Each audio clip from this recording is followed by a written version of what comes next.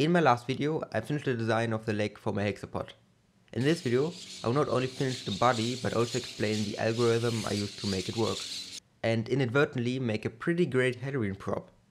So without further ado, let's get to it. If you've seen the last video, you know that it took quite a bit to design and build this leg. But now that I have a design nailed down, I only need to build it 5 more times.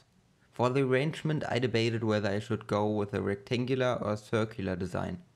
I decided to go circular because the legs interfere less with one another. There are a lot of parts to print, so let's get started.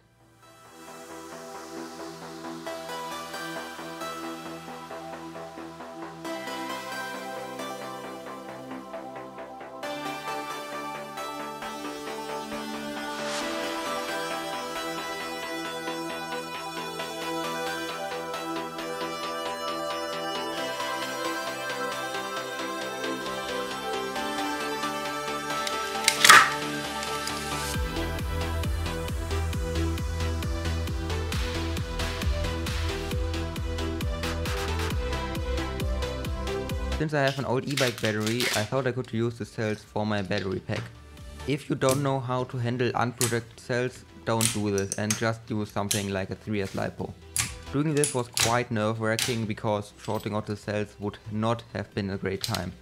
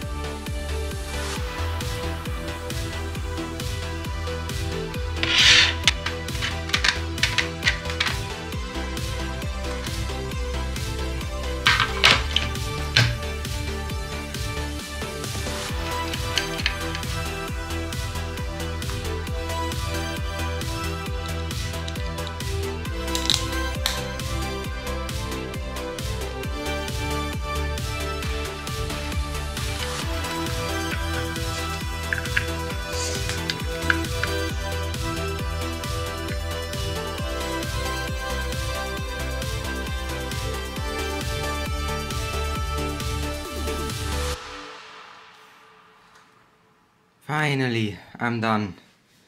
That took a while and I still need to wire up the LEDs. Yay!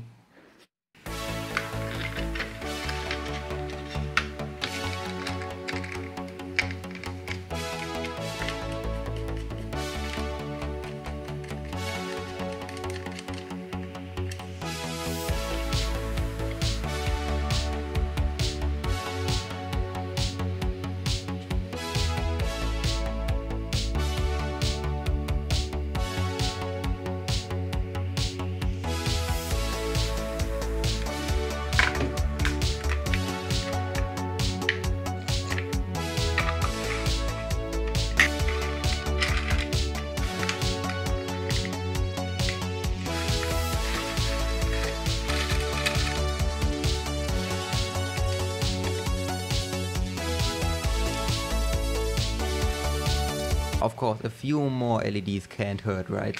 This takes the total up to 271.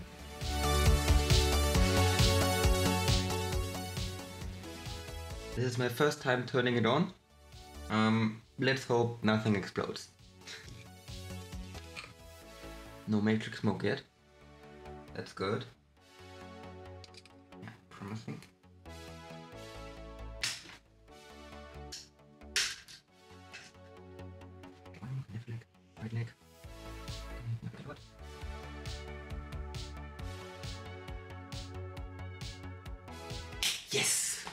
Let's go! Now, how do we even begin making something like this walk? I already built the IK model in my last video, and will let my past self explain it. Most hexapods use something called inverse kinematics. Basically, we tell a magic algorithm of sorts where this endpoint should be, and it then calculates the necessary angles for each joint. Thanks past me. The most common way for a hexapod to walk is the tripod gait. The hexapod lifts three of its legs and moves them forward. At the same time, the other three move back to push the hexapod. Once it takes a step, it puts the legs down, lifts the other three and repeats the process.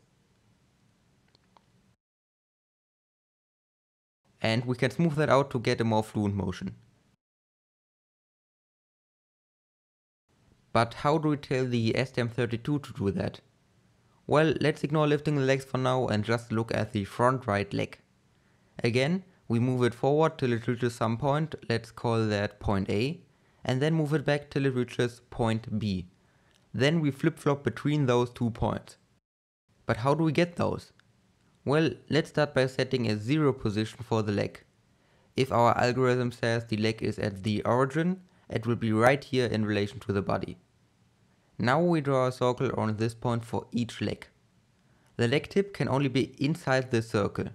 This also keeps the legs from colliding. Now let's say we want to move forward. Again, this leg must move forward until it reaches point A.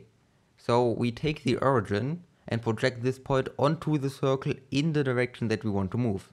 I will come back to why we use the origin in a second.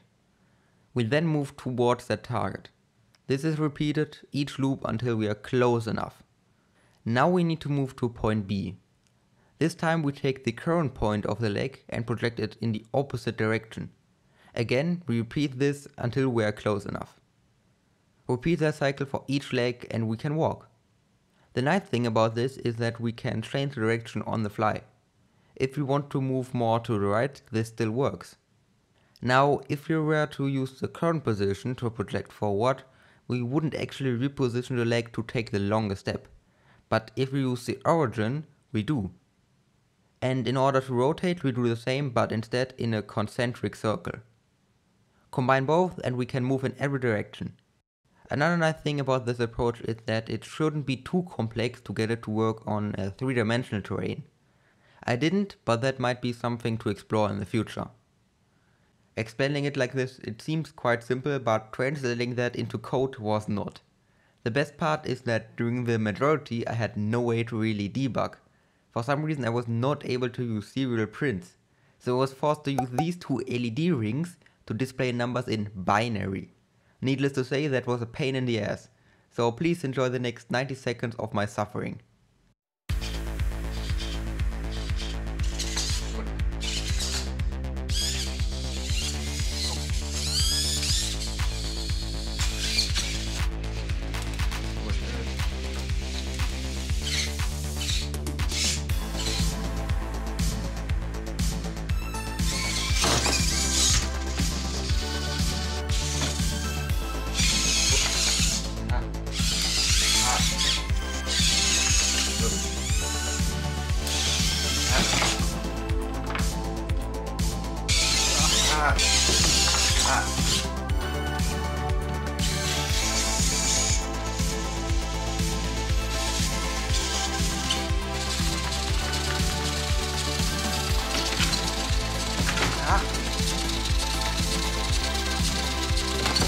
Ah.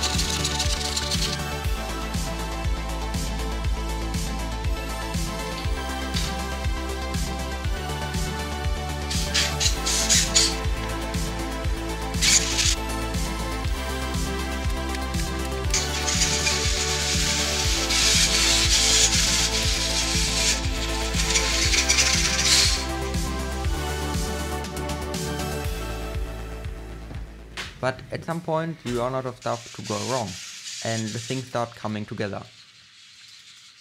To control the hexapod I made a simple app with the MIT App Inventor. But this is where tragedy but this is where tragedy but this is where tragedy tragedy but this is where bad luck struck again.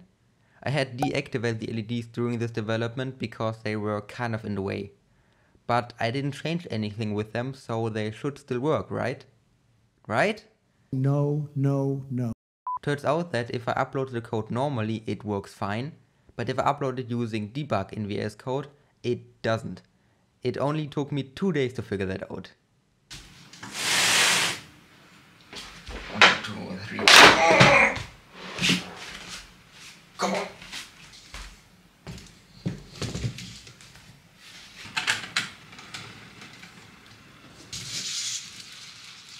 But with this, I was done. I mean, I still found things I needed to fix, like the supply voltage breaking down. Oh fuck. The I2C bus being flaky. But oh, would you look at the time. Let's show the thing off to my family. Mama, du bist genau hinter dem Balken. Ja, das ist gut. Dann bleibst du mal hier einfach so stehen. Hallo. Raus, Aber ich sehe doch blöd aus. Wow, Jetzt hoch. Wow. Steigst du aufstehen soll.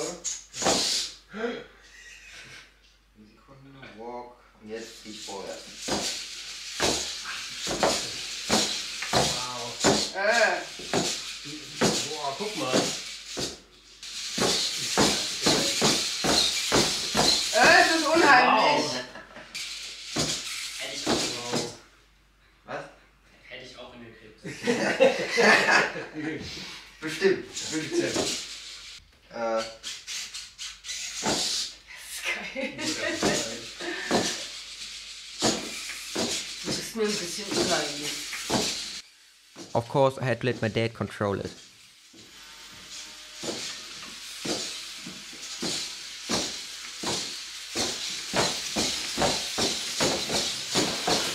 Sit down. Okay, that's enough. Let's try it outside.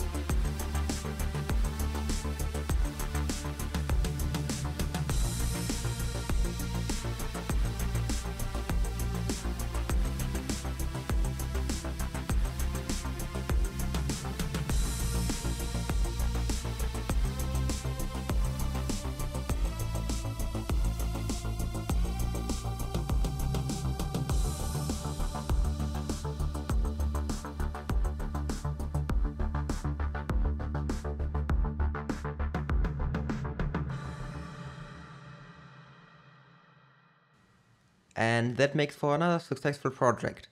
I didn't really know what to expect from a DIY hexapod, but it ended up working pretty great. As always, you can find all the files in the description down below. It might have some problems, but I'm very happy with what I have right now. I will definitely come back to it in the future, but for now I want to turn my attention to some smaller projects. I also recently started university, so I won't have as much time. Thanks for watching. So this is me from editing the video. And while I was taking images for the thumbnail, one of the servos just decided to die. I have no idea why, but it's broken, so I replaced it with one I had still had on backup. If you're building something like an hexapod or really anything that uses a considerable number of servos, make sure you have at least a few of these as backup because you will probably end up replacing at least one of them.